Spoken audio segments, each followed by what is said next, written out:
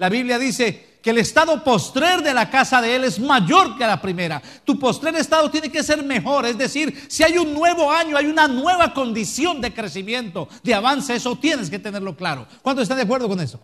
Amén. Dígale que está a su lado, así con cariño, ojo, este es un año para avanzar.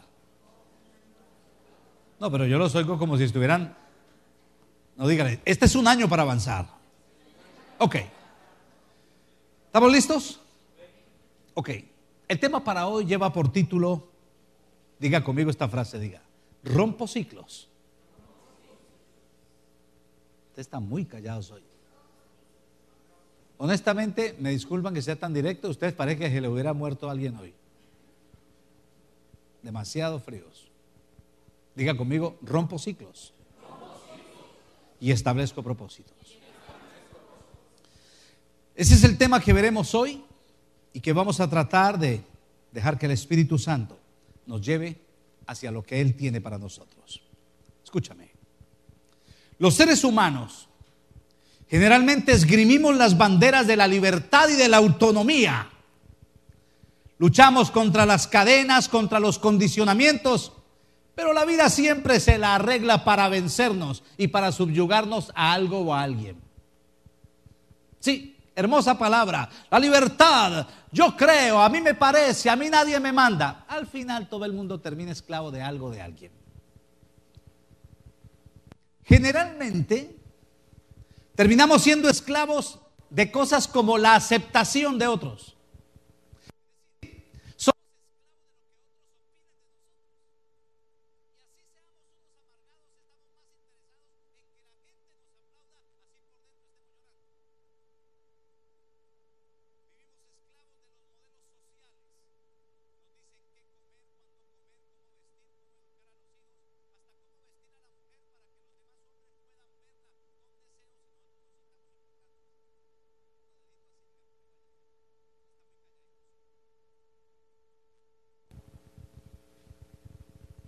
Vivimos esclavos de que nos aprueben. Y todos necesitamos algún nivel de aprobación, pero es demasiado triste cuando los que nos aprueban son mediocres que han fracasado. Vivimos esclavos de nuestros propios deseos y de nuestros caprichos, de nuestras concupiscencias y hasta de los paradigmas que vamos asumiendo para nuestra comodidad, nos hacemos esclavos de ello. Todos queremos llegar como a un punto de vida donde nos sintamos cómodos y tranquilos. Casi que nos gustaría que la vida fuera como una vegetación, que no presente ningún altibajo, sino llegar a un punto de calma extremo, como estar muertos en vida. Y a eso lo llamamos tranquilidad. Sin saber que fuimos diseñados para otra cosa. Somos, lo hemos dicho, la corona de la creación. Dios nos hizo para hacer cosas maravillosas. En ti hay un potencial no para que descanses, sino para cambiar el mundo. Para poseer lo que Dios determinó que es tuyo. Para poder entrar en este tema de las libertades, vamos a Juan 8, versículos 31 al 36. Dice así, vamos a ir leyendo y lo vamos desbaratando de a poco. Dijo entonces Jesús a los judíos que habían creído en él si vosotros permaneciereis en mí, en mi palabra, seréis verdaderamente mis discípulos. Notemos que estas palabras están dirigidas a los que creen en Jesús. Ahí viene un texto más adelante que ya lo vamos a ver, donde dice, conoceréis la verdad y la verdad os hará libres. Y dentro de la, la comodidad evangélica tomamos un montón de versículos y los aplicamos a los no creyentes. Esto es para creyentes. Jesús le está diciendo a sus discípulos y a los que le siguen, ustedes tienen que conocer la verdad para ser libres. Y yo sé que muchos evangélicos dicen, no me diga eso, que yo ya soy libre. Eso mismo le dijeron a Jesús. Pero escúchame, esas palabras van dirigidas a quienes habían creído en Jesús. Eso hace que las palabras que Jesús nos va a dar no las entendamos como un llamamiento al arrepentimiento simplemente, sino como un camino hacia la realización de la fe que nos abraza. Esto que Jesús nos enseña hoy no es para que se lo apliquemos a tu familiar que no conoce a Cristo, es para que lo apliques a tu vida. Es para llevarte a otro nivel. Es para poder desarrollar en ti y en tu familia los procesos y proyectos que Dios ha trazado para los que le aman. En estas palabras Jesús nos dice cosas maravillosas, pero en lo que acabo de leer del versículo 31 específicamente, nos da una noticia que es conmovedora. Escúchame. Tú podrías creer en Jesús y no ser su discípulo. Oiga pues. Podrías creer en Jesús y no ser un discípulo de él. Bueno, entonces uno piensa, ok, pensemos en los católicos que dicen creer en Jesús y viven todo diferente. Bueno, échele el barro a los católicos y qué de los evangélicos. Que alaraquean de creer en Jesús, pero discípulo poquito. Ahora, la pregunta es, ¿qué es un discípulo? Ahí Jesús nos va a enseñar cómo ser discípulo, pero ¿qué es un discípulo? La palabra discípulo se origina en la palabra disciplina. Y la orden de Jesús no es vayan metan gente en una iglesia, sino ir y hacer discípulos. Vayan metan gente en mi disciplina. Enséñenle a hombres y mujeres que sean disciplinados como yo soy, dice Jesús. O sea que tú eres un verdadero discípulo cuando sigues la disciplina del carpintero, no cuando tienes una estampita ni cuando usas la Biblia y dices, gloria a Dios en el nombre de Jesús, soy un hijo de Dios. No se trata de palabrería retórica evangélica, se trata de una vida rendida a Él. Dígale que está a su lado así como con ojos de malicia. Dígale, podrías creer. No, pero sin temor, dígale, podrías creer y no ser un discípulo. La diferencia entre creer y ser discípulo, dice Jesús, radica en permanecer permanecer no en nuestros ciclos repetitivos de comodidad e identidad personal, sino en la palabra de Él. Tú no puedes tomar la palabra de Jesús y usarla como una pintura, como un acondicionamiento para tus ciclos en la vida. Tú necesitas entender que esa palabra viene a romperte los ciclos tuyos para establecer lo que Dios quiere hacer contigo. Mientras no pase eso, no ha pasado nada contigo. Puedes saberte la Biblia, puedes saberte Juan 3:16, puedes hablar de, Salmo 23, puedes decir todo lo puedo en Cristo que me fortalece, bautizarte. Puedes tener una Biblia grande y un pescadito en tu carro, diga que está a su lado, no ha pasado nada. No, no, los noto demasiado, demasiado, dígale que está, no ha pasado nada.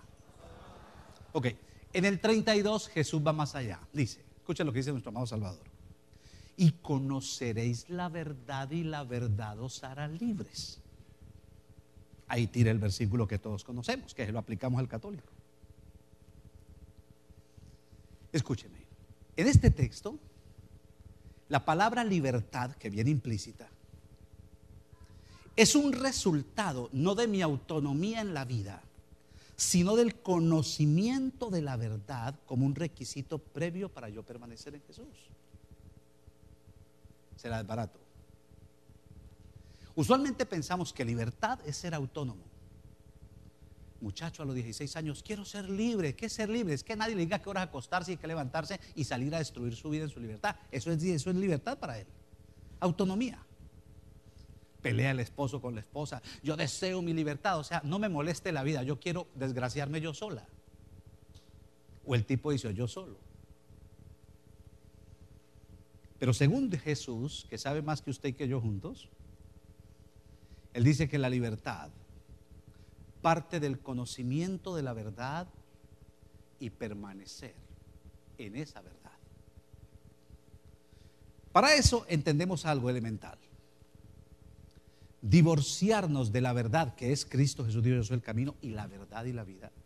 Divorciarnos de la verdad por cualquier razón nos priva de la libertad. Ningún ser humano puede ser libre si no está sujeto a Jesús. ¿Seguimos? Allí no queda la charla entre Jesús y sus seguidores. Jesús está hablando con sus seguidores.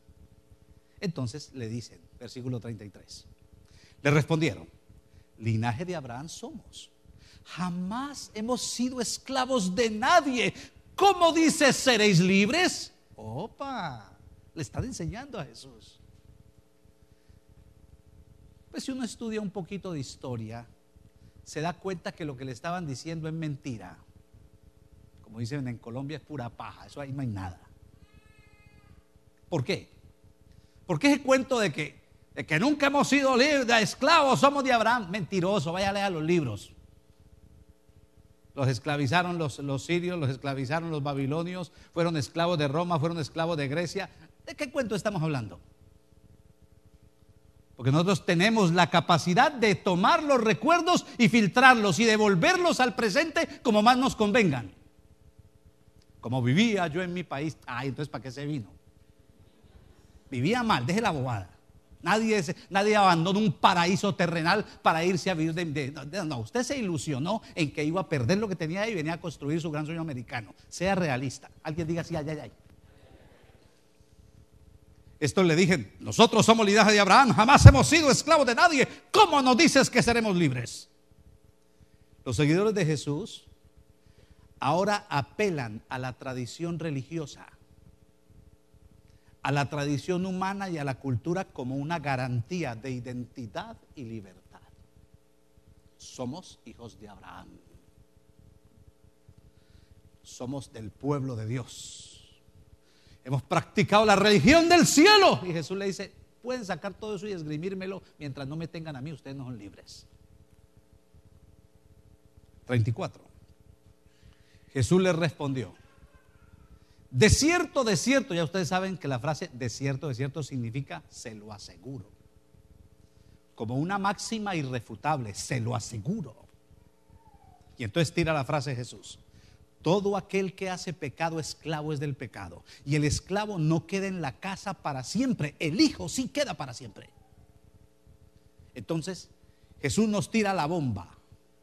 La bomba es esta. Ojo ahí con la explosión. La bomba que Jesús tira es este. Tú podrías ser de la cultura del cielo, de la descendencia amparada por el cielo, de la religión constituida por el cielo y no ser libre.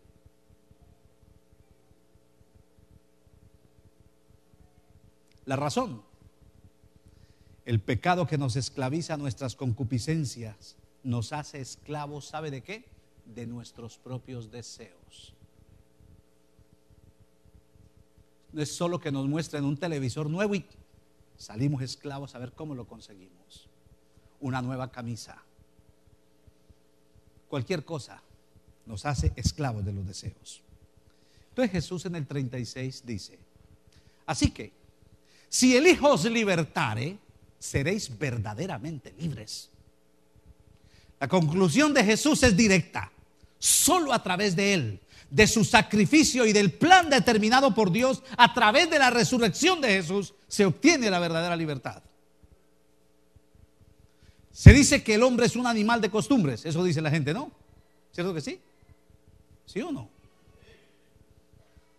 Las costumbres nos van creando patrones de comodidad pero sobre todo nos crean patrones de resignación que los asumimos como identidad. Es decir, es que yo soy así. tú te estás resignando a lo que has podido ser. Por miedo y por cobardia a intentar ser algo más grande, asumes que lo más grande que eres es lo que aparenta ser cuando tú sabes que eres un pigmeo, un pequeño, un enano con disfraz de gigante. No, ustedes porque están tan serios hoy. Pastor, no me trate tan duro, porque te quiero, te aporrio, decían los montañeros. Es decir, tú decides, si sigues pintando una imagen tuya superlativa, que se va a caer. Porque la vida no te cree los cuentos como te lo creen los hombres. La vida va a sacar de ti la realidad. Y tú puedes aducir que eres libre, pero la vida se encargará de demostrar que eres un esclavo de ti mismo, del pecado, de lo que sea.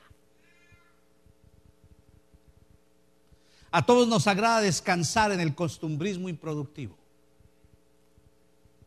pero rehusamos seguir formas disciplinarias que son formativas.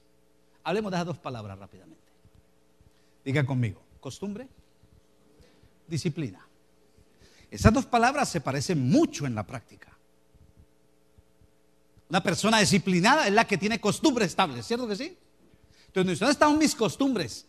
Bueno, pero tú podrías tener costumbres sin tener disciplina y eso implica que no serías discípulo.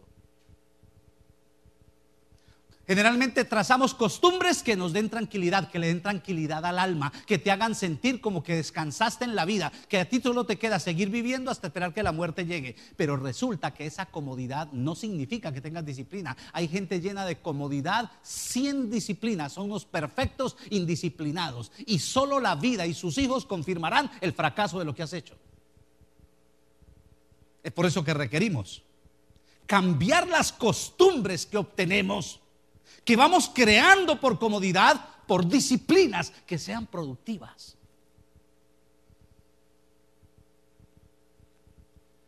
La clave para el éxito radica en invertir estos valores, es decir, amemos y asumamos disciplinas constructivas mientras rompemos los ciclos de costumbres que nos limitan y nos asegurarán siempre los mismos resultados si tú haces siempre una cosa y te da un resultado, sigue haciendo la misma cosa y tendrás los mismos resultados. Tú puedes ponerle al proyecto 2014, 2015, 2016, 2017, 2018, 2050, serán los mismos resultados porque no has cambiado tu patrón de conducta. Los patrones de conducta repetitivos determinan ciclos que siempre arrojarán los mismos resultados. Esos ciclos te roban la verdadera libertad te impiden conocer y permanecer en Jesús y en su palabra. Es por eso el tema de hoy, que lleva por título, diga conmigo, rompamos ciclos y establezcamos propósitos. Vamos a entrar al trabajo de campo ya. Usted va a aprender a hacer cosas para este 2017. ¿Alguien diga amén? Ok. Escúcheme. Lo primero que necesitas, ¿cuántos quieren entrar en este propósito de romper ciclos y establecer propósitos de Dios? Ok. Usted no nació para ser un mediocre, un perdedor y para quedarse toda la vida en el mismo nivel. Todavía la vida no ha sacado de ti el más alto potencial. Tú puedes dar mucho más. Por eso Jesús vino a tu vida, para sacar de ti el más alto potencial. No solo es para darte un tiquete al cielo, es para sacar de ti el más alto potencial y dejar en la tierra una historia, una huella poderosa a través tuya. Es decir, tú vas a poner la huella de Jesús a través de tu mano. Oiga lo que le estoy diciendo. Su mano imprimiendo la huella de Jesús. Pero para eso hay que sacar el más alto potencial de ti.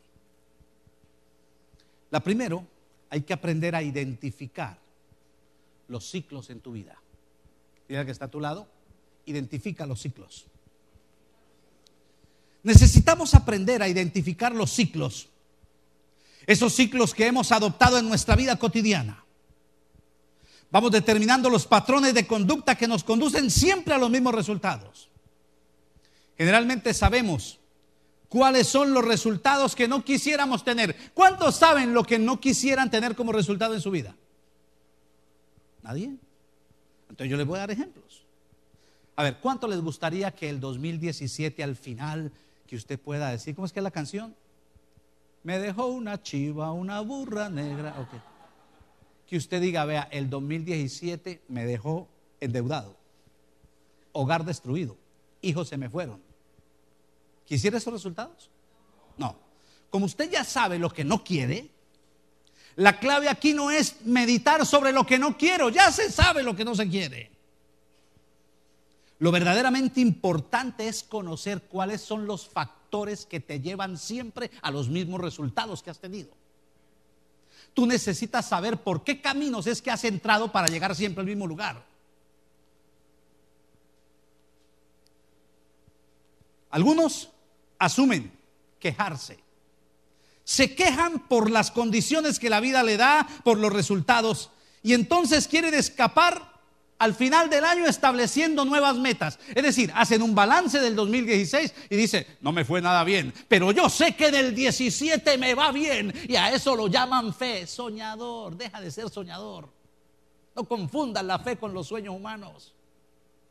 La fe es parte de la acción en Dios no de sentarte a hacer lo mismo, esperar que Dios haga por ti lo que tú nunca has querido hacer.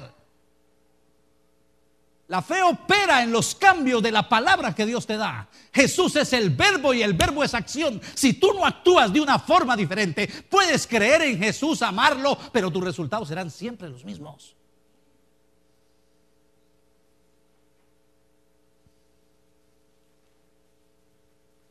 Dedicarnos a quejarnos no es lo más inteligente ni lo más productivo. Sería más importante ser consciente de aquello que nos lleva a los mismos resultados de siempre. Es allí donde se origina un cambio para tu vida. Si llegas al final del año y proyectas el 2017 y miras tu vida y te encuentras, esta frase la usamos mucho en, en los hispanos, te encuentras en un callejón sin salida. ¿Cuántos has encontrado alguna vez en un callejón sin salida? Entonces, cuando usted está en un callejón sin salida, usted dice, ¿cómo salgo? Hermano, pues si no tiene salida, ¿para qué pierde tiempo? Si el callejón no tiene salida, ¿para qué? Para, digan, ¿para qué pierde tiempo si usted sabe que no tiene salida? Como sabe que es un callejón sin salida, lo mejor es dedicar toda tu fuerza a, a mirar por qué llegaste a ese callejón. ¿Cómo puedes deshacer tus pasos para salirte de ese lugar donde has llegado? Porque generalmente buscamos un callejón sin salida, es para encontrar una salidita, me meto por ahí y sigo haciendo lo mismo y voy de callejón en callejón. Jesús no te ofrece eso. Jesús te dice, va mal, tu callejón está cerrado. Tienes que entrar y mirar dónde fue que diste el paso equivocado para llegar donde estás, porque la clave aquí no es deshacerte de tu callejón, sino deshacerte de ti mismo. Porque el que te llevó al callejón fuiste tú. Alguien diga, alguien diga, ya, ya, ya, lo noto demasiado serio hoy. Para eso es necesario, estamos hablando de romper ciclos, diga conmigo, romper ciclos y establecer propósitos. Para eso, indefectiblemente, tienes que aprender a lidiar con tu pasado. Dile al que está a tu lado, enfrenta tu pasado. Cuando experimentamos resultados adversos, lo más común cuando vemos los resultados adversos es evitar pensar en ellos. Entonces, cuando queremos dejar de pensar en los problemas, pensamos que si no pensamos en ellos, ellos desaparecen. No, lo que hacen es acomodarse en un lugar de tu vida donde no te molesten, pero sigan haciendo daño. Y si se trata de encontrar una forma de escapar de mis problemas, no pensando en ellos, que viva diciembre con su alegría y su diversión, porque diciembre te brinda la oportunidad de hacer fiesta en medio de tu catástrofe. Y que vive el árbol y que viva la natilla y los buñuelos. En México las posadas, ¿no? Hagas a vaina. Entonces tú te sientes que eres un vencedor. Espérate, estás festejando por lo que has perdido, viejo. Espera que llegue enero espérate que llegue por ahí el 15 de enero y comiences a ver tus cuentas y tus responsabilidades y apagues el arbolito y te quede solo el chamizo. Una risita como malosa la mía, ¿no? No necesitas escapar de tus problemas. Oiga esto, no necesitas escapar. ¿Qué es lo que hasta le oramos al Señor, Señor, quítame estos problemas? Dice, ¿y por qué los voy a quitar si usted los ocasionó? ¿Por qué más bien no viene y se mete conmigo que yo le daré el valor para que lo supere? Dios no es Dios de cobardes ni de zánganos. Dios es un Dios de hombres y mujeres valientes que aceptan que se equivocan, van donde su Dios le piden perdón y Dios los afina para buscar soluciones. Ese es el Dios de la Biblia. Ese es el Dios. Ese Dios no le gusta la religión, pero a mí me gusta, porque lo describe en la Biblia Jesús así. La mejor forma de superar tus experiencias dañinas es enfrentándolas dándoles un nuevo significado que sea funcional, porque no porque algo sea malo no significa que no se le pueda sacar provecho. Si tú miras ese bendito, ese, el, el, statement de tu tarjeta que te viene por no sé cuántos miles, ese es un problema que tú tienes. No lo escondas, te va a explotar tarde que temprano, míralo. Deja que te atormente, que con ese tormento tú sabrás que ese dolor te lleva a reaccionar. Hay que hacer cambios y a partir de ahí estás comenzando a cambiar tu vida. Pero no, escondemos el statement y pidamos pizza. Cualquier parecido con la mera realidad es coincidencia. Debemos aprovechar los tiempos difíciles y los resultados adversos para tomar aprendizaje y saber desechar lo que no sirve para hacer cambios. Si tú no haces esto, hijo mío, tú puedes ser el mejor cristiano del mundo. Estarías de todas maneras con un corazón lleno de amor por Jesús, condenado a los mismos ciclos y, como dice de América Latina, a tropezar cada año con la misma piedra. No va a pasar un milagro, no, que es que este año van a ser Samuel 2017. Y los predicadores vienen predicadores hasta Europa, y me imponen las manos, mi vida cambia. Siga jugando a la religión, mío. Dios no va a hacer por usted lo que usted tiene que hacer por usted mismo. ¿No pide libertad? ¿Qué viva la libertad? Bueno, sea libre usted, libre para tomar las decisiones de sujetarse a Dios o seguir como va. Usted está muy callado hoy. Parezco un papá regañón hoy, ¿no?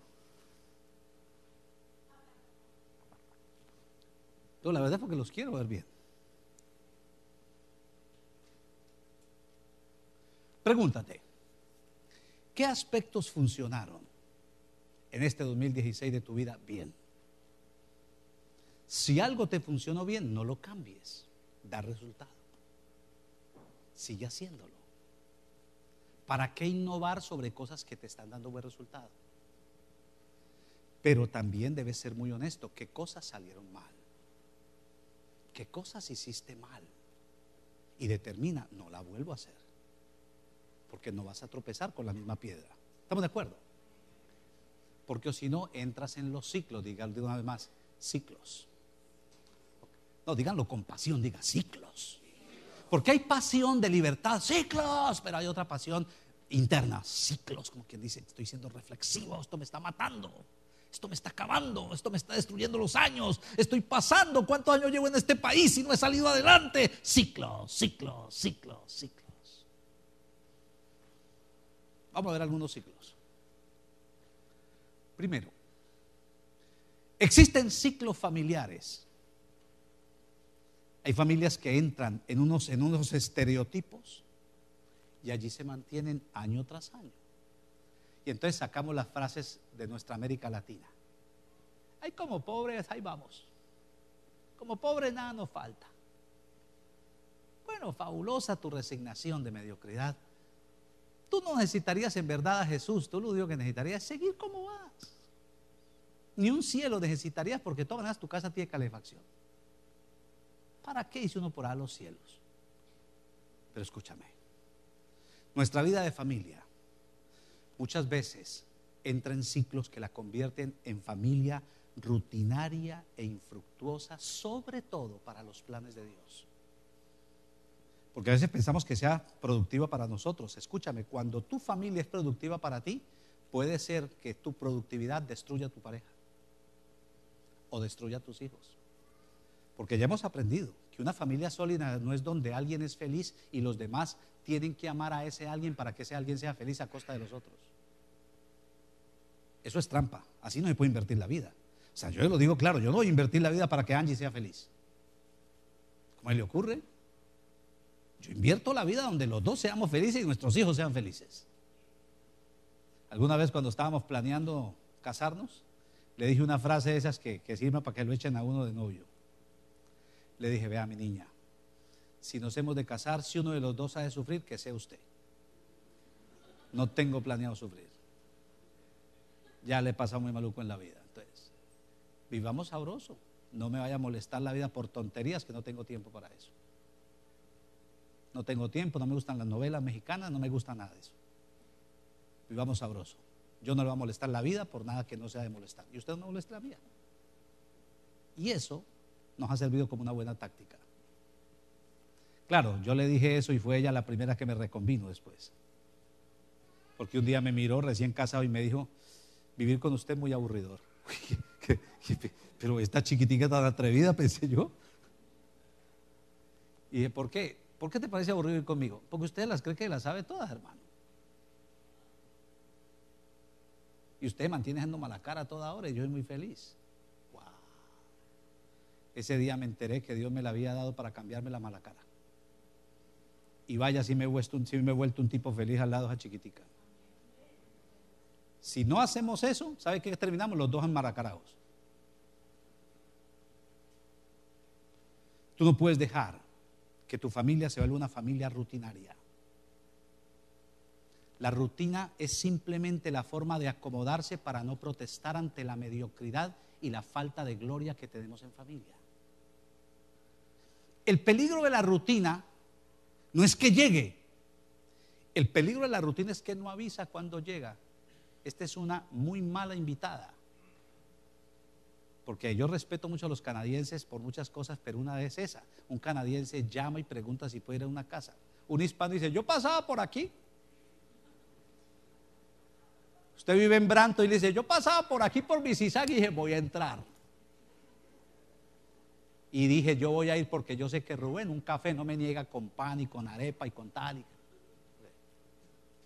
No. La rutina llega y no avisa. Ella se va instalando en tu vida, en tu hogar de a poco. Va estableciendo costumbres de aparente calma y te va robando la esencia del amor. La rutina te va sedando. Es como un sedante Tú no sabes cómo va entrando por tu corriente sanguínea, pero va entrando. Y cada vez haces menos esfuerzo y cada vez encuentras mayores excusas para no reaccionar hasta que aquello que comenzó como una gran pasión entre dos termina convirtiendo tu hogar en un pequeño cementerio con dos sepultureros con argolla. No, no, digan así, digan, ay, ay, ay y lo más vivo de esa casa son los hijos que huyen buscando vida. No podemos dejar que nuestro hogar se vuelva rutinario. No entres en ciclos repetitivos. Siéntate con tu esposo, con tu esposa. No te dé miedo dialogar con respeto, con seriedad. Mi amor, ¿qué te, qué, qué, ¿cómo estás? ¿Te sientes feliz? No le dé miedo. Es mejor. Yo prefiero que Angie me diga, no, estoy muy aburrida con usted. A que no se me vuelva una pastora de San Rey para que la gente la vea. No, no, porque le ría a usted y me pelea a mí en la casa. Yo no quiero eso. Estoy cansado de ver pastores así. Yo prefiero sentarme, ¿cómo estás? Tengo una reunión, contame, ¿cómo vas? Que ya se, soy yo el que pone la reunión en casa, imagínense. Y entonces ella, ella dice, ah, ya va a empezar otra vez, ¿qué necesitas? ¿Cómo vas? ¿Cómo van las cosas? Y analizamos todo. Claro, dejar reuniones, no crea que soy yo el que pido cuenta, a mí también me piden cuentas. Usted no ha vuelto a sacar la basura, a ese perro no le volvió a echar comida. Ok, ok. Pero entonces se corrigen esas pequeñas cositas que solemos guardar. Jesús las llamó zorras, que guardamos y son las que dañan la cosecha. Diga conmigo, no voy a dejar que mi familia entre en ciclos improductivos. Sea, piénsalo, para los que están casados, esto comenzó como una aventura entre dos personas enamoradas. ¿Cómo vas a dejar que el amor se desvirtúe? ¿Cómo vas a permitir que tu amor se sepulte y que tus sueños originales queden perdidos en la monotonía de la productividad? Hagamos plata, consigamos, comamos. No, espérate, tú y yo valemos más que todo esto. Es más, siendo muy honestos, tú y yo valemos más que nuestros hijos. Si no fuera por nosotros, ellos no existirían. Y sin nosotros la vida de ellos sería un caos. Porque los hijos se enojan con uno, porque uno los regaña, pero ¿qué sería si no fuera por uno? Hay que romper los ciclos de familia. Si tú has llegado a un punto donde ya se conocen todos, hasta las arruguitas y todo, ojo, Ojo, mal síntoma. Mal síntoma. ¿Seguimos? Diga conmigo, rompo ciclos. Los segundos ciclos que necesitamos detectar son los ciclos sentimentales. Escúchame. Nuestra vida puede verse opacada y hasta, hasta controlada por sentimientos infructuosos. Hay personas que los sentimientos los dominan y los vuelven pedazos. No podemos ignorar los sentimientos. Yo hoy mismo tengo que poner mis sentimientos en otro lugar y asumir una, una realidad mía espiritual. No crean que es que no tengo sentimientos. También lloro, también sufro. Pero no puedo permitir que mis sentimientos. Ayer hasta última hora Angie me dijo, mi amor, ¿quieres descansar? No prediques. Y yo le tuve que dar una respuesta ya mucho más directa. Le dije, mi niña, no se trata de si quiero o no quiero. es que si yo no lo hago, le estoy dando una información a mis hijos. Y es que las circunstancias predominan sobre la fe y eso no es verdad. Entro en un abismo donde todos van a sacar una disculpa para no hacer lo que tienen que hacer. Y yo tengo que tener el coraje para decirle a usted, no me está sacando excusas. Se puede hacer con frío, se puede salir con menos, con menos 40, se puede hacer en problemas, se puede ser fiel a Jesús, se puede mantener fiel a tu esposa, a tu esposo, se puede hacer. Los sentimientos no te pueden dominar. Porque si no, eres demasiado predecible. Existen sentimientos que te meten en ciclos dañinos. Sentimientos no solo afectivos, sentimientos de culpabilidad. ¿Yo por qué hice eso? ¿Yo por qué cometí ese error? ¿Cuándo fue eso? En el año cuarenta y pico. Ah, el año cuarenta y pico ya pasó hace rato. ¿Te acuerdas de eso? Todavía acordándose de eso. Diga que está a su lado. No, despierte, madure.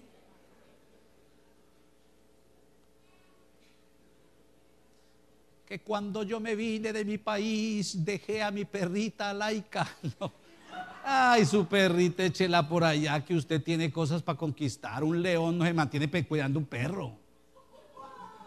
Usted puede tener un perro ahí en la casa, pero usted no puede vivir por un perro, ni dirigir su vida por un perro. Eh, dígame.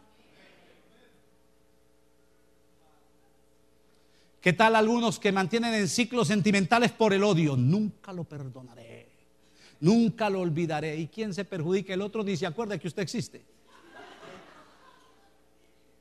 que esa novia que tuve que me la jugó, nunca la olvidaré y ella anda con otro pasándola bien bueno. Y usted amargado aquí perdiendo un futuro, impidiéndole a Jesús que haga una obra con usted.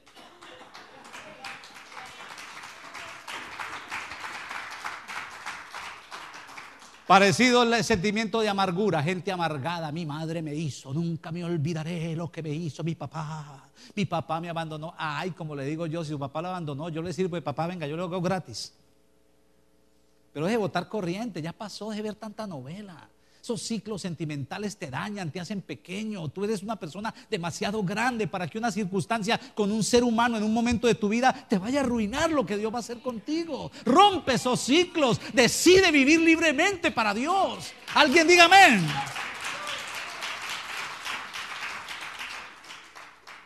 Existen ciclos sentimentales tan dañinos como hasta la gratitud enfermiza. Yo no pensaba poner esto ahí, pero el Espíritu me dijo, si no lo pones, te liquido. ¿Qué es la gratitud enfermiza? Que usted no puede volar que porque le debe a alguien algo. Entonces tengo que estar agradecido toda la vida. Y aparece el otro manipulando. Acuérdese lo que yo hice por usted. Acuérdese que, ay, no me vengas a amarrar mis sentimientos por eso. No, ya lo hiciste. Y si no, deshace lo que hiciste y llévate lo que me entregaste y déjame libre, que yo prefiero no tener nada, pero no tener un ancla que me esté amarrando al pasado. Déjame ser libre. Alguien diga amén. Tú no puedes vivir esclavo. Tú tienes que ser agradecido con los hombres. Sí, hay que ser agradecido, pero no dejes que la gratitud te domine. Te doy las gracias. Viviré eternamente agradecido contigo, pero déjame volar. Las relaciones afectivas suelen ser dominantes para el ser humano esclavizan, te hacen improductivo. Generalmente las, las relaciones afectivas te meten en ciclos de dependencia emocional, psicológica, económica y hasta sexual. Hay gente que depende emocionalmente de otro. Una mujer que cuando el hombre hace así, ya se le acaba el mundo.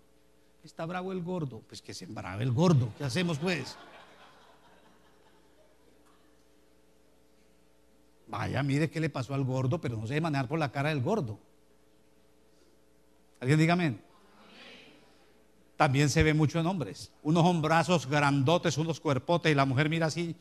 ¿Qué le pasa, baby? No, no, no, no, no. La trato como baby cuando me respete como un hombre. ¿Estamos de acuerdo? Hasta los hijos. El niño hace así.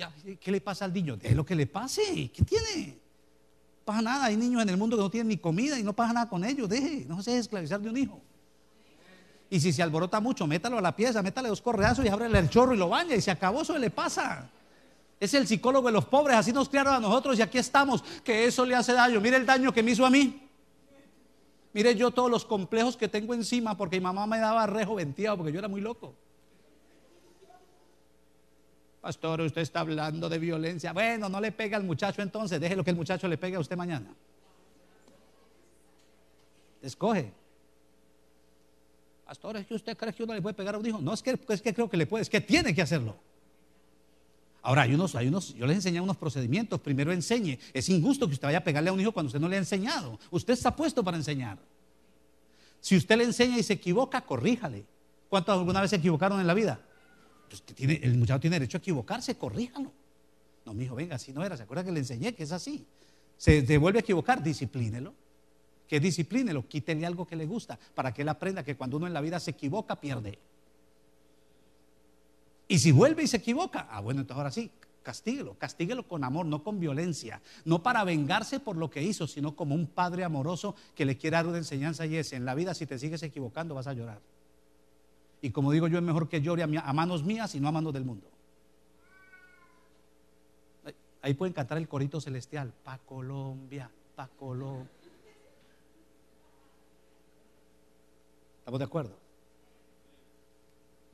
En familia, en parejas. Se nota gente dependiente de otro psicológicamente. Los manipulan de una forma terrible. Usted no fue diseñado para ser manipulado. Usted fue diseñado para ser manejado por Dios. Ni Dios te manipula. Ni Dios te manipula. Dios te ve en el pecado, en la tentación y no creas que Dios te dice, si si haces el pecado te mato, te voy a mandar al infierno. Dios se queda como si nada. Yo me aterro, Dios, es como si nada para que la obediencia sea producto del amor y no del miedo. Porque el que teme no ha conocido a Dios, Dios es amor. Y a Dios no le interesa solamente que tú dejes de pecar, a Dios le interesa que lo hagas por amor a Él. Si lo haces por miedo, Dios sabe que no ha pasado nada contigo, que solamente estás tratando de coartar los deseos malignos que hay en tu corazón. Y Jesús no está interesado en que tú amarres tus deseos, Jesús está interesado en cambiar tu corazón. Y del sexo ni para qué hablamos. Hay gente dependiente del sexo. ¿Puedo hablar al estilo mío? Hay hombres que la mujer le cierra, la, le cierra la, empresa por la noche y les acaba el mundo. Mendigado, quiero mami, venga pues mami. No, tengo dolor de cabeza. Tómese un taile, no olvide molestar. Porque si no, te volvés esclavo de esa vaina. El sexo no es una herramienta para esclavizar a otros, es una herramienta para vivir un deleite entre dos personas que se aman. Y allí se hacen hijos también, a los que no sabían. Ojo con esos ciclos, ciclos afectivos que pueden ser muy dañinos. Ciclos afectivos que te destruyen. Ojo con los ciclos afectivos de relaciones dañinas. Que estoy con él, pero no lo puedo dejar. Tiene que dejarlo, si no la va a acabar. Si una relación no ha resultado, va para afuera. Pastor, pero estoy yo estoy casado, usted está casado, entonces venga a busque consejería cómo arreglamos esa belleza. Pastor, y no se arregla, si no se arregla, yo no le voy a decir que se separe, pero lo que yo sí le digo es que a paz la llamó Dios. ¿Qué pasó con, con ese silencio sepulcral? Esta semana no pidan consejería, por favor. La otra les ayudamos. Pero sí es importante que tú no dejes que una relación dañina te... te, muchachos, muchachos, jovencitos 17, 18 años esclavos de una relación malsana. Es que el gordo no me ha llamado, es que me trata mal. Si, desde ahora la trata así, ¿qué esperanzas tiene, mija? Rompe esa vaina, como dicen en Dominicana, más para adelante hay casas y de concreto. Eche para adelante. Te he pegado de un cambucha y de esterilla, eche para adelante. ¿Estamos de acuerdo? Vamos con otros ciclos peligrosos los ciclos de pecado. Te hago una pregunta. ¿Has experimentado los mismos tipos de pecado una y otra vez en tu vida? No me respondas, piénsalo. Si hay pecados constantes en tu vida, no se trata de una mera debilidad, no. No es que seas débiles. Tampoco es que has caído, no es que estás en un ciclo de pecado recurrente, permitido y asumido ya como parte de tu vida. ¿Cómo sé que lo has asumido como parte de tu vida? Porque antes de pecar piensas en lo que vas a hacer después de que peques. Es más, vas a la Biblia y busca los versículos que te ayuden para después de la caída. Y Dios está hablando fuerte hoy. Cuando usted va a la Biblia a buscar los versículos que le sirven para levantarse en la caída, es porque usted está en un ciclo de pecado. Usted ya no peca por, usted no peca por pecador, usted peca es porque usted está en un problema de ciclo repetitivo. El pecado se, se enseñoreó de usted ya, ya usted perdió el control. Usted usa la Biblia como una forma de seguir respirando, pero usted está, está muerto en vida.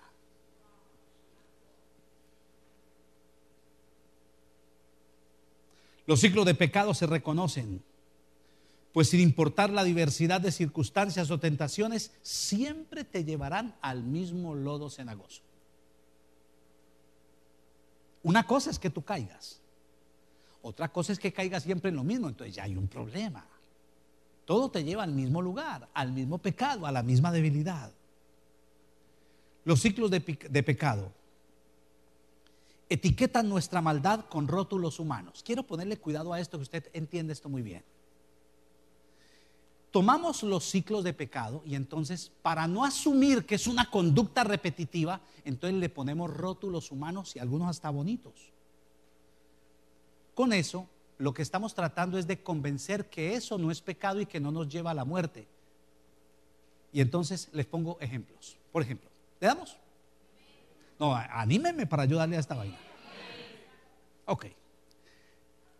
A las relaciones pecaminosas y a las conductas de infidelidad, tú le puedes poner una palabra para que no se vea feo, llámalo amor. Es que yo lo amo. Ay, si vives así sin casarte, no lo llames amor, es pecado.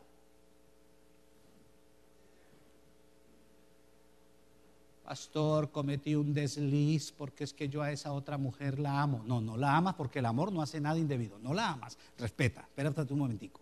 Fue calentura, hermano. Fue calentura, no le metas cuento a eso. o sea, tú puedes tratar de engañar a tu, esposa que te cree la bobada, pero a mí no. ¿Alguien diga amén?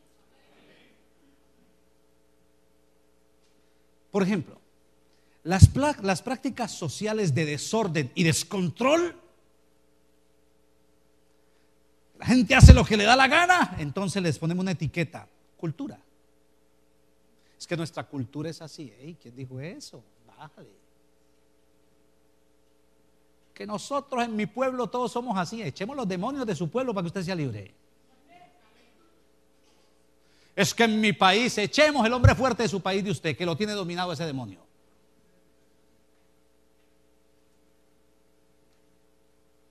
Le metemos el cuento de que eso es cultura. Nosotros somos así. Y si somos evangélicos, peor. Entonces decimos, el Señor nos entiende. El Señor en su libertad. ¿Cuál Señor? Son los demonios que te están regando a usar la Biblia para que sigas haciendo el mediocre que siempre que has querido ser. Por ejemplo, los hispanos decimos, es que nosotros tenemos una malicia indígena. Ah, agrestes. Ok. La conducta, la conducta de deshonestidad la solemos disfrazar con malicia indígena. No, usted no es un indio, un indio con malicia, usted lo que es un ladrón. Deshonesto. Y entonces le ponemos rótulos a esa deshonestidad. Es que yo lo hice porque estaba en una situación económica difícil. Mentiras. Hay gente viviendo en pobreza más que la tuya y no hacen lo deshonesto que tú haces. Eso no es verdad. Pero es que, pastor, ¿yo por qué no voy a coger eso si ellos también roban? No te excuses en otros. Aquí el problema no es que los otros roben, el problema es que tú eres un ladrón igual que ellos, solo que tú no has tenido la oportunidad de robar como ellos roban. ¿Y qué pasa ahí tan serios? ¿Sigo? Vamos con esta que se usa mucho en familia. Las tendencias a la rebeldía y al irrespeto a la falta de mansedumbre, decimos y lo asociamos con el carácter. Es que yo soy así. Vea, usted me disculpa, pero yo suelo decir la verdad de frente. Usted es un maleducado que no le faltó papá. Que lo pongan en su lugar. Y creció y ahora porque está grande sigue siendo un niño maleducado en cuerpo grande. Usted no puede pretender Que porque nos diga pues que usted es así, ya entonces no se le puede corregir, se tiene que corregir. Ese no es su carácter, ese es el carácter degenerado de, usted mismo. Se degeneró la idea de Dios en usted. No entiende la palabra degenerado como una parte ofensiva, sino como una parte de deterioro de lo que Dios diseñó para usted. No crea que usted diga, no es que yo soy así, ya queda solucionado. No, no queda solucionado. Usted está haciéndole daño a gente. Y usted puede convertirse en un fastidio para la gente que le rodea. Por más que diga que yo soy así, es que desde chiquito, desde chiquito lo condicionaron. Pásemelo a mí chiquito que yo se lo arreglo. Y todavía a los niños les decimos es que salió igualito al abuelo, así intemperante, no es grosero igualito al abuelo que le pegaba a la abuela. Y hay que cortarle esas alas. O si no tendremos un abuelito en potencia. ¿Alguien dígame? ¿Seguimos? Vamos con otros ciclos. ¿Estamos bien? Vamos con los ciclos financieros. Todos, absolutamente todos, estamos expuestos a transitar por diversas situaciones económicas y financieras. A todos nos pasa. El problema no es que pasemos por situaciones difíciles en las finanzas. El problema, el problema es cuando las situaciones de escasez, de endeudamiento, de pobreza son cíclicas y repetitivas. Cuando todos los años terminas igual de pelado, igual de endeudado, el problema no está en una racha. Tú no estás en una racha, tú eres una racha para tu familia. Pastor, no sea duro, te amo, por eso soy así, porque quiero sacar de ti el más alto potencial. Tú mereces una mejor vida y tus hijos merecen una mejor vida y una mejor condición. El sistema canadiense está diseñado para meterte en los ciclos del sistema. A Canadá le importa poco tener que darte plata a ti o, usar el welfare para sostenerse. Al, gobierno canadiense le importa muy poco. Al gobierno lo que le importa es que tú entres en ciclos repetitivos, en que tú hagas un contrato con Rogers y lo mantengas por dos años. Son capaces de regalarte un teléfono. Porque a ellos lo que les interesa es el ciclo. Y si te sales de Rogers, te reciben en Bell y te sales de ver y te reciben en Faido. Lo importante es que no te salgas, porque eso es lo que hace que el sistema persista. No te estoy diciendo que no tengas teléfono, yo también tengo teléfono, pues claro, lo necesitamos. Pero no puedes dejar que el sistema te meta en ciclos que tú no puedes sostener. Lo que el sistema necesita es que tú te hagas dependiente del sistema. Y un hijo de Dios es dependiente de Cristo. No pierdas tu libertad financiera a costa de este consumismo voraz que nos ofrecen. Te bombardean para que compres cosas todo el tiempo, porque la clave es que el dinero circule, así tus hijos pierdan toda la eficacia de Dios. El gobierno es capaz de ofrecerle a tu hijo a los 16 años, váyase para la calle, le doy 800 dólares y vaya, vive en un basement porque el gobierno no le importa invertir 800 dólares y saben que ese muchacho rapidito al mes está buscando teléfono, está pagando internet, está pagando una renta y el ciclo sigue. Y tu hijo que pudo ser un gran profesional dentro de 5, 8 o 10 años se convierte hoy en un bloque más de todo este sistema económico que lo va a hacer un mediocre más, que va a hacer que los grandes sean grandes y él será cada vez más pequeño. Claro, tú le preguntas al hijo él dice, es que yo quiero ser libre. Sí, mío, siga soñando. Bueno, eso lo hace el muchacho a los 16. El peligro es que lo hagan muchachos a los 50.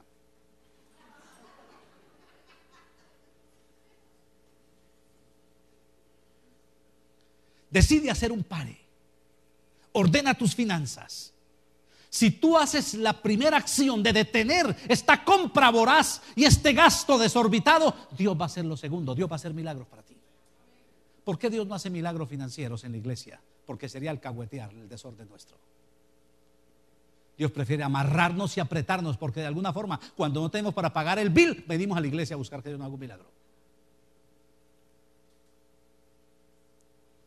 Los ciclos financieros nos acostumbran a vivir abriendo huecos para tapar otros huecos. Es un ciclo donde para abrir un hueco y tapar otro pierdes más que lo que estás ganando. Es decir, el hueco que hoy abres es más hondo que el que vas a tapar. Pero como tapaste el hueco dices, ay, qué bien, siga soñando, ya tiene otro hueco más grande. Pero es que yo, me, me dieron ese avance en esa tarjeta y pagué eso. Pero debes allá una, un interés más alto, cabezón, pensar. Hay que tener cuidado. Tú no puedes seguir perdiendo, gastando más y aplazando más tu salida a flote. Tú decides. O mantienes el estatus que hasta aquí te ha llevado a ser alguien medianamente respetado por los hombres con unas finanzas desastrosas que nadie las conoce sino tú, que cuando te lleguen esos biles en la casa tratas de no verlos. Y voy a llamar al pastor para que ore por mí antes de abrir esto pero mantienes un estatus la gente dice, uy, ¿cómo vas de viento? ¿Cómo has progresado? Porque no sabes lo que debes. O decides parar. Y yo le recomiendo, si usted no puede vivir en el estatus, no viva. ¿Usted por qué tiene que tener contento a nadie? Usted tenga contento a Dios. Búsquese un basement por allá barato vaya viva por allá. Entregue el teléfono, entregue todo. Comience de cero, Dios lo levanta. Dios lo levanta. Yo sé lo que Dios hace. Dios te bendice. No tengas miedo, Dios lo hace. Mientras que sigues sosteniendo un elefante blanco que te sigue aplastando. Es mejor. Echenle el cuento a sus hijos, vean mis amores, nos vamos a vivir de esta casa tan bonita que nunca ha sido nuestra. Le hemos dicho a la gente que tenemos casa. No, mijo, en verdad debemos, debemos esta casa y no he tenido cómo pagarla. ¿Por qué no nos vamos a un basement? Todos vamos a ir apretados. Quitemos teléfonos, quitemos esto, amarremos todo y vamos a darle. Si trabajamos duro dos, tres, cuatro, cinco años, vamos a empezar a ahorrar y vamos a tener para ir a otro lugar y sabes que comienzas en cero y te dedicas hace dos años a pagar deudas, Dios te va a ayudar. Claro, si usted es evangélico, le gustaría más que el pastor le diga, vamos a hacer una oración de pacto. Traiga 100 dólares, endeudes en 100 más que yo le ayudo. Y sale más endeudado que antes. Y el pastor compra carro ese año. Ay, cualquier parecido con la realidad es mera coincidencia. Una prosperidad que no hace sino prosperar a unos zánganos que predican bien mal, pero manejan bien la palabra en cuanto a finanzas, yo Y la pobre gente sentada ahí cada vez más pobre. Y les tiran más fe. Espere que Dios va a hacer, espere. No, yo te lo digo claramente. Si la palabra que yo te predico no te da resultado, tú no estás obligado a quedarte ahí sentado. Corre por tu vida. Jesús no te, no, te, salvó para sentarte en la iglesia y sostener un barrigón como yo. Él te salvó para hacer algo grande en ti. Si el proceso no llega a su fin, algo está mal. Lo que estoy predicando es verdad. Yo te lo digo con claridad porque sé en quién he creído. Por eso no me ocupo en abrir iglesia grande, me ocupo en formar gente. Si tú haces lo que yo te estoy diciendo es parte de Dios y no te da resultado, ve y presenta, presenta el reclamo en la oficina. Ahora, si lo, haces, si, no, si lo haces, si no lo haces, ya no puedo hacer yo más. Amén. Diga que está a su lado. Sonríe.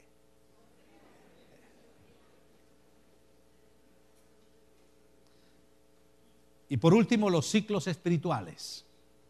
Solemos entrar en ciclos espirituales repetitivos nos gusta la misma cosa, el culto igual, todos los amigos de la iglesia los mismos, Juanita con el mismo pelo parado, el otro Filiberto con la misma corbata vieja y todo igualito. Entonces nos hacen falta los amigos, en verdad la iglesia no es un sitio para ir a buscar a Dios, sino para ir a buscar un cuadro decorativo del club hispano. Hey, Jesús no te salvó para eso. Ciclos. Yo llevo 40 años en esta iglesia. Está mal, 40 años no es de progreso. Tenía que pasar algo en tu vida. Yo miro los hijos que hemos levantado espiritualmente. Y uno ve resultados en la gente. Si no hay resultados, no tiene por qué seguir. ¿Por qué va a seguir usted un pastor? Es que es el ungido de Jehová, pero está ungido para qué? ¿Para llevarte a la miseria? ¿Para acabar con tu vida? No, una, persona es ungida por Dios para traer cambios a tu vida, para encontrar tu destino profético. Esa es la labor de un ministro. No es entretener gente el domingo para que le sigan trayendo diezmos. Por eso que tú tienes que entender que Dios tiene un propósito con tu vida. Es que tú cambies, tú llegues a otro nivel. No es entretenerte el domingo para que salgas con una fe que te dure ocho días y al domingo vuelves otra vez a seguir tanqueando. No, es a cambiar tu vida. Este 2017 te va a arrojar cambios en tu vida, transformaciones poderosas. Tú no puedes ser el mismo siempre porque hay un Dios vivo dentro de ti que te lleva de triunfo en triunfo, de gloria en gloria. La senda del justo es como la luz de la aurora, tú vas en aumento hasta que el día es perfecto. Alguien diga amén. Eh, alguien diga amén. Está muy callado hoy. En cuanto a los ciclos espirituales, quiero decirte que la vida espiritual se ve sometida a ciclos que yo los llamo ciclos esperanzadores. Son ciclos de sueños y conformismo que lo único que hacen es darte razones para aplazar tu gloria. Es decir, tú vas al culto a que te una razón para seguir esperando lo que Dios sabe que nunca va a llegar, pero sigues esperando.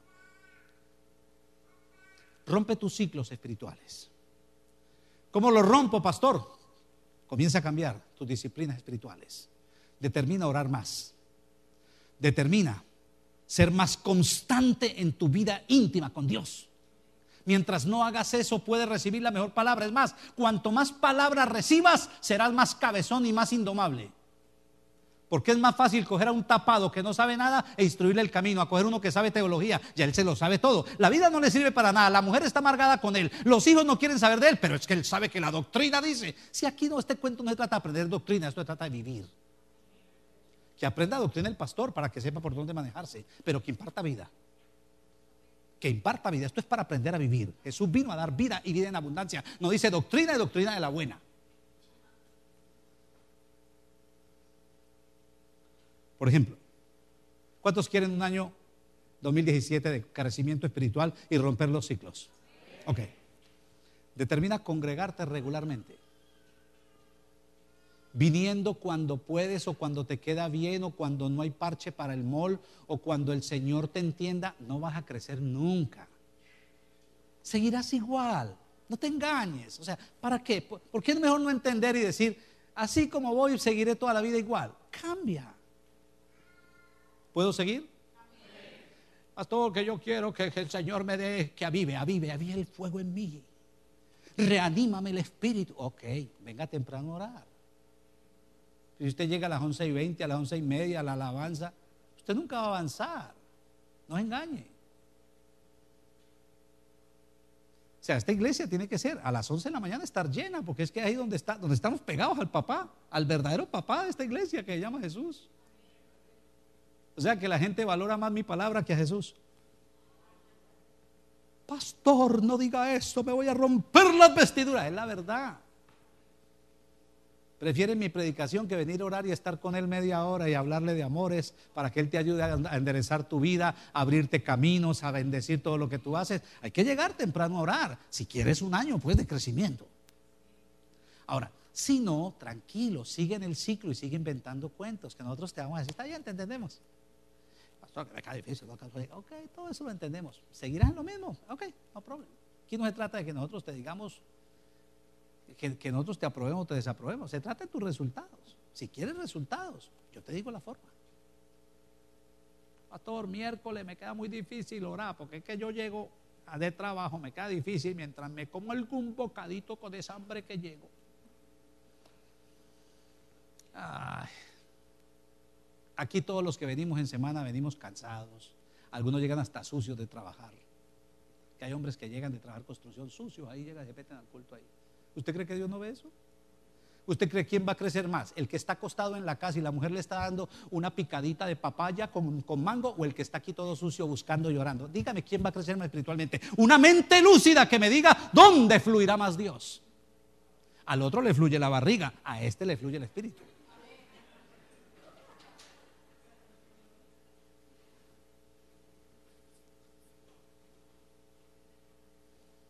Y las mujeres dejen de mimarnos. Cuídenos, pero no nos mimen. Pobrecito el gordo, como le toque duro. Que el gordo, usted prefiere que el gordo siga engordando, que el gordo llene el espíritu y que cuando llegue a la casa le diga, mi amor, estoy mamado, vengo cansado, pero lleno del espíritu. Ese gordo hasta cansado trabaja mejor, yo sé por qué lo digo. Mientras que lo contrario, con la papayita, de cada mira el gordo.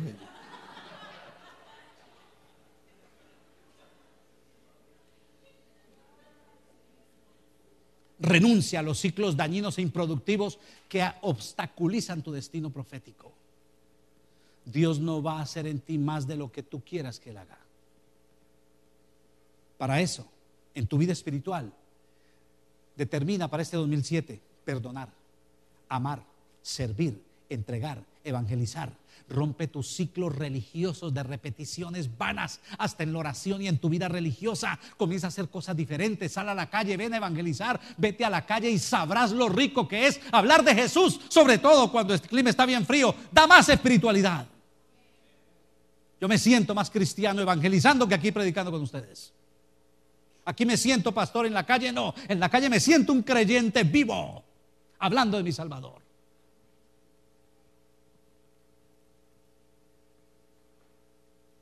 Dios tiene un nuevo nivel de gloria para ti. Sal a buscarlo. No te conformes. No te conformes a que no te vas a ir al infierno. Esa es la determinación más mediocre que puedes pensar. El infierno ya lo venció Jesús. Tú no fuiste diseñado para salvarte del infierno. Tú fuiste diseñado para gobernar y enseñorearte en el nombre de tu Dios. Una pregunta elemental. ¿Ya vamos terminando o qué? ¿Le damos o no? Noto como a chicos palados. Una pregunta elemental, rápido. Cinco consejos para romper ciclos. ¿Le damos? Ok, con los deditos así. Uno, el uno. Ok. Primero, acepta que hay ciclos que cerrar. Acepta. Acepta que tienes que cerrar. Escúchame. Lo que Dios tiene para ti siempre será mejor que lo que tú le puedas entregar. Cuando tú determinas decir, Señor, mira, este ciclo me gusta, así he vivido, determino cerrarlo. Cuando tú dices eso, algo mucho más grande que lo que tú estás entregando, Dios te va a dar a ti. Siempre Dios dará mucho más de lo que nosotros podamos pensar o entender, dice la palabra. Dos, para el nuevo año y cerrar nuevos ciclos, aprende a perdonar y a pedir perdón. Es decir, Líbrate de raíces de amargura y de sentimientos nocivos. Tú eres demasiado importante para la eternidad como para perder tu vida con sentimientos malsanos que imposibilitan la obra de Dios en ti. Perdona al que sea, que te la hizo, te perdono. Yo necesito ser libre. Tengo más cosas por conquistar. Tercero, da gracias a Dios por todo y deshazte de la culpabilidad. Ella corta tus alas a salir usted de aquí, es que yo he sido muy malo, muy malo, muy malo. Ay, deje la bobada, deje tanta novela y tanto canal de YouTube de predicadores malos. Usted tiene que romper con la culpabilidad. Jesús pagó por usted. Ya, la hice mal. Aquí tengo el Dios que me va a ayudar. Voy a caminar libre. Él pagó por mí. No me importa mi pasado, ya lo pagaron. Dios no se acuerda. Si el que se quiere acordar de mi pasado viene de parte del diablo, viene del infierno, del acusador. Dios me da una nueva vida. Voy a empezar un nuevo año. El pasado pasó, lo que hice mal lo hice mal. Ahora voy adelante. Dios está conmigo. Alguien diga. Cuarto, limpia tu territorio. Lo describí así en mis comentarios. Remodela el escenario de tu vida. Haz un cambio radical en el reparto de los actores y determina escribir un nuevo capítulo de tu historia. ¿Qué es limpiar tu camino? Mira muy bien la gente que te rodea, que pueden ser los que te impulsan a los ciclos dañinos. Deshazte de lo que no sirve. Que es mi gran amigo que vivió conmigo toda la vida, por eso soy así. Chao. Sale, amigo mío. Te veo por ahí de vez en cuando. Te llamo por ahí el Día de la Madre. ¿Por qué? Yo, yo tengo que rodearme de gente que me ayude hacia donde voy. O sea, tú puedes venir aquí, recibir la palabra, pero sales a contaminarte con la gente que te induce al mismo estilo de vida, termina haciendo lo mismo. ¿Tú qué crees que tiene más efecto? ¿Una hora sentado allí viendo o una hora en un Tim Horton con un amigo hablando de tonterías y rehabilitando el ser interior lleno de maldad. Te está despertando el camino de mediocridad. Aprende a ser refinado, refínate. Tú no tienes que estar diciéndole, este no sirve, al otro no sirve, pero tú sí tienes que aprender a mirar qué persona es la más adecuada para tu vida, qué gente te aporta a tu proyecto. Y no digo solo porque sean evangélicos, hay evangélicos que son un verdadero problema para uno. Pero es que el hermano Leo Vigildo, ¿cómo le digo que no? No, ese hermano Leo Vigildo es un falto de fe religioso. Busque gente de fe que lo empuje. Porque ese religioso te va a dar siempre una razón para seguir en el mismo ciclo. Hermano, esperemos en Dios. No espere usted, yo me voy. Yo voy para adelante a buscar lo que Dios me va a dar. Hermano, hay que aprender a esperar en el Señor. Eh, aprender a esperar en las promesas, no en tu comodidad, querido amigo. No quiero que mis hijos se parezcan a los tuyos. Pastor, no sea duro. Más duro es que mis hijos se me pierdan. Por yo guardar un modelo de gente que no sirve. A veces nosotros amamos y valoramos más los modelos de gente fracasada que los modelos de Jesús. Ah, ¿Puedo ser? ¿Puedo, puedo, puedo, puedo, Estoy en mi casa, yo puedo hablar, ¿no? A veces eres más respetuoso con un amigo que te induce a la mediocridad que con un pastor que te está diciendo lo que debes hacer para bien tuyo. Y de un amigo no permites que hable ni del pastor sí.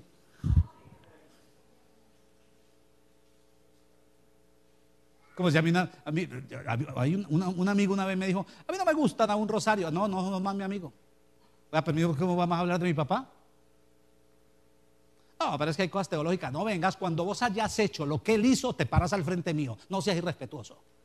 Cuando tengas el hogar que él tiene, me volvés a hablar. Cuando después de 40 años te mantengas firme, ya seas abierto, más de 800 iglesias en el mundo, habla. No seas descarado. ¿Voy a permitir que hablen de mi papá? ¿Alguien diga amén? Es que te ha vuelto muy religioso, también es que lo idolatras y vos sos un, un tipo enseñado a la deshonra. No sabes lo que es honrar a una persona. Yo sí honro a mi papá. ¿Alguien diga amén? Quinto, pide y acepta la ayuda del cielo. Dios tiene un plan perfecto para ti. Él te rodeará de las personas adecuadas. Dios, mire, ese, ese hermano de la iglesia que te está llamando, ¿qué hermano? Te llamo a ver cómo estás, vamos a orar. Ese que te molesta y que no le quieres contestar puede ser la respuesta de Dios para tu vida. Dígale que. Y Dios te está llamando para, para encauzarte. Dígale que está a su lado. No seas tapado, entendé. Viene de parte de Dios. Pero cuando llegue el amigo, ¡eh, pasaba, acá tomando un cafecito a la esquina! Que ¡Ay, llegaste! ¡Qué bueno verte! ¡Ay, vas para el ciclo! Vuelve al ciclo. Dios te va a rodear de nueva gente, gente espiritual. Terminamos estableciendo propósitos. No lo pienses más, hijo, no lo pienses más. Comienza ahora. Establece objetivos de forma eficiente que te lleven al éxito y esto te dará realización en tu vida. Termino dándote estos cinco pasitos para establecer propósitos para el 2017. ¿Le damos? Uno. Primero, renueva tu entendimiento. Rompe con las cadenas que te atan a tu perfil humano. Deja de defender tu perfil. Que la persona que más daño te ha hecho en la vida eres tú mismo. Renuncia a ese enemigo que llevas adentro. Cambia tu entendimiento. Deja de sacar el limpio al que te ha hecho quedar en sucio. Dos. Conoce cuáles son tus límites y cuáles son tus limitantes. Ahora dicen, no, que el Señor me lleva sin límites. Ay, despacio, ¿cuál sin límites? Tienen límite. Vea, la palabra es un montón de límites para usted. Sepa hasta dónde llegar. Sepa hasta dónde es permitido. No todo es lícito. No por tener éxito o ganar dinero podemos hacer todo. No, no lo hacemos. Somos gente cristiana. Por no entender esto es que tenemos las iglesias que tenemos en Toronto con todo respeto. Un montón de iglesias, no hablo de todas obviamente, pero hay un montón de iglesias de gente que se reúne en el nombre de Jesús y son gente deshonesta. Empezando por los pastores que le mienten al welfare, le mienten al, gobierno, le mienten a migración, hacen lo que sea por tener una persona ahí sentada. Eso no es evangelio. No todo es permitido. Sí tenemos límites. Pastor, usted me puede. A mí hay gente que me dice, Pastor, usted me puede hacer esto. No puedo. Pero, Pastor, no es, que no puedo, no es que yo no quiera, es que no puedo.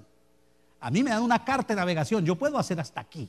De ahí para allá, yo decido, o te tengo contento a ti o al dueño del aviso.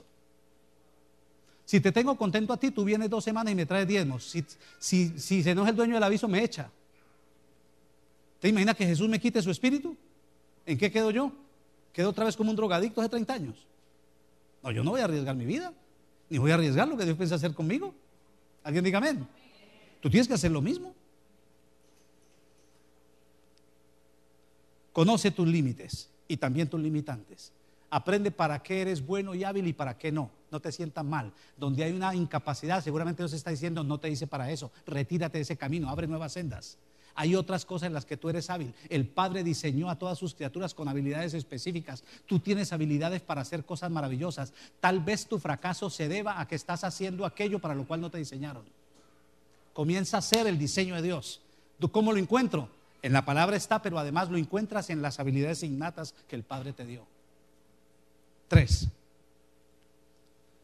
Determina qué deseas lograr. Piensa en lo que Dios te ha hablado en la intimidad, antes de lo que el mundo te ha hablado por sus emisarios, por los medios sociales y por los medios de comunicación. Uy, pastor, tengo una visión. ¿De dónde la sacaste? ¿De dónde la sacaste? Dime de dónde la sacaste. ¿En qué programa lo viste? ¿En qué cassette? ¿En qué disco? ¿Fue en YouTube? ¿Quién te lo enseñó? Porque si viene del mundo, es del mundo y produce resultados para el mundo. Piensa de dónde viene tu visión. ¿Sabe cuál es el mejor lugar para recibir una visión? Ni siquiera soy yo. Tu intimidad con Dios. Tu momento de oración, donde tu carne se desliga. Allí es donde Dios te va a hablar certeramente de deseos gloriosos. Y entonces tú los acunas en tu corazoncito pequeñitos y te vienes y te sientas. Y vas a ver que sin tú decirle a nadie, menos al predicador, el Espíritu va a empezar a hablar y a regar esa semilla. Porque el Espíritu trabaja en sintonía con tu corazón y con el hombre de Dios. Si el hombre de Dios no te predica tu necesidad, el hombre de Dios está fuera de base, no está orando. Esa es una responsabilidad del predicador. Yo no puedo decir que, uy, que como predicó es bonito. No, yo no predico bonito. Yo predico a su vida. Palabra viva y eficaz. Te tiene que servir para algo. ¿Cómo hago para que sirva? Me meto a orar.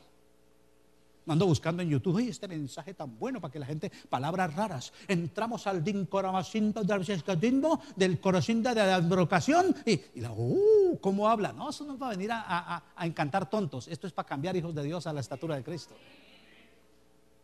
Entonces tú en la intimidad, Dios te comienza a hablar y hablar y te sientas ahí y la tiro. ¡Pum! Mire, alguien me comentó esta semana que en su vida, no digo la persona, pero en su vida se vio, vio como un sueño, se vio, se vio como un gatito.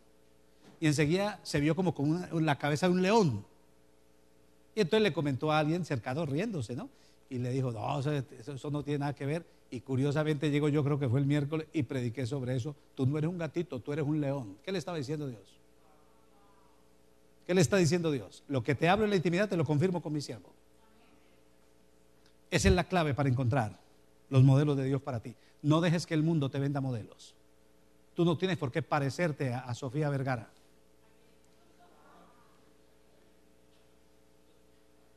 Tus hijos no necesitan a Sofía Vergara ni tu marido tampoco. Igual con los hombres. Cuatro, establece metas que sean fácilmente medibles y ponle fecha a tus sueños. Si no lo puedes medir, no es una visión. Pastor, la diferencia entre una visión y un sueño, los sueños no se pueden medir. Las visiones sí. Claro que se pueden medir. Pastor, ahora estoy planeando hacer. Si no lo puedes medir, eres un soñador. Seguirás toda la vida de sueño en sueño. Se tiene que medir. ¿Dónde estoy? ¿Hacia dónde voy? ¿Cuánto voy a lograr? ¿Cuánto me demoro en llegar? Entonces mides y sabes si vas bien o vas mal. Eso es una vida en visión. Y quinto, determina los umbrales de aceptación y de éxito para tu vida. ¿Cuáles son los umbrales? Piensa hasta dónde tú consideras que te ha ido bien. Porque a veces ponemos unos umbrales, unos umbrales muy bajitos o muy altos.